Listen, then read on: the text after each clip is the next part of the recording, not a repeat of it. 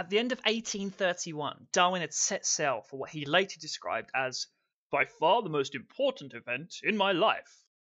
He joined the crew of the HMS Beagle to sail around the world, plotting the positions of the countries as they went. Darwin's official job title was the gentleman's companion to the ship's captain. As well as other duties, his main job was to provide intelligent conversation. The trip was meant to take two years. It, however, in the end lasted almost five years, which must have seemed so much longer for Darwin, as he suffered from terrible seasickness. The misery I have endured from seasickness is far beyond what I ever guessed at. Darwin collected thousands of plants and animals during the five years, which he sent back to England to friends who would record them and name them if they were new species.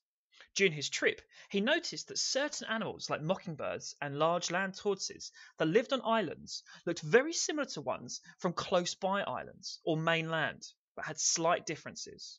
Locals in the Galapagos claimed they could tell which island a tortoise came from just by the shape of their shells.